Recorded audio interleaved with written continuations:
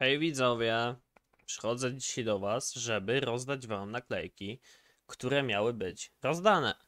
I e, jak wiecie, co jest do rozdania? Jak nie wiecie, co jest do rozdania, to już was właściwie to nie dotyczy, bo film jest dla tych, którzy oglądali wcześniejszy film, na którym ten konkurs właściwie był.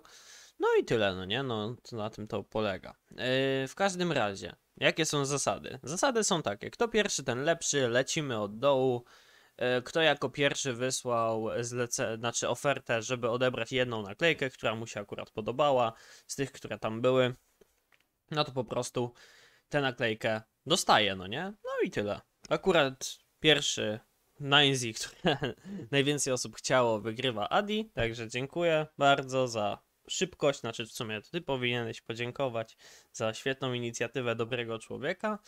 E, I co? Nagroda już dana, no i wygasło większość ofert. E, Drugą osobą, która dostaje swoją naklejkę jest MV1 Root, no taki o chłop, bo wysłał jako pierwszy na Team Spirit Glitter. Hmm, potwierdź, akceptujemy, ok. Cyk, akceptuj. Nie ma za co, przyjacielu. Mam nadzieję, że ci się będzie dobrze sprawowało. Czy nie, se nakleisz, czy sobie sprzedasz. Coś w każdym razie już dane. O, proszę bardzo.